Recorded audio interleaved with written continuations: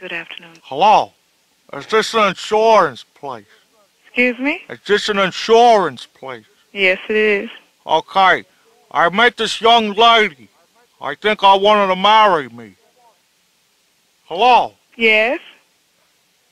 I met this young lady. I want her to marry me, but I need your insurance to tell me if, you know, the marriage will be good. She'll make a good wife. How am I supposed to tell you that? I don't know. She don't cook or clean or nothing. well, I need you to ensure me that uh, she's the, the right lady for me. I can't insure. I can't tell you that. She got a bigger beer belly than me. That's why I'm trying to look nice and svelte for Memorial Day, 'cause I want to wear a nice bikini. I got knob knees. Hello? yes, You yes. should see my feet. They look like a bushel of corn.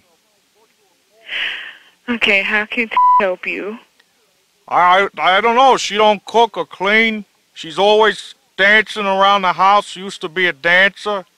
She puts rags on her head. She don't. I told her the other day to make me some biscuits, and then she put on the oven. It went bada boom, and biscuits flew, hit my cat. Hello.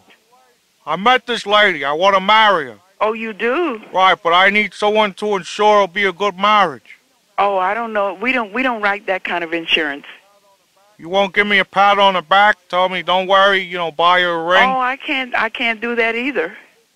Why not? You know how to make biscuits? Do I what? Know how to make biscuits? So what does that have to do with insurance? Cause I that she used to make good biscuits. Well, you well you ask her if she knows how to make good biscuits before you marry her. Yeah, but every time I want to drink Memorial Day coming up, she gets mad at me. Oh, she does. Right. Well, then don't take it. What, take the marriage? Don't take the marriage if she gets angry because you're asking for problems already. Because Okay.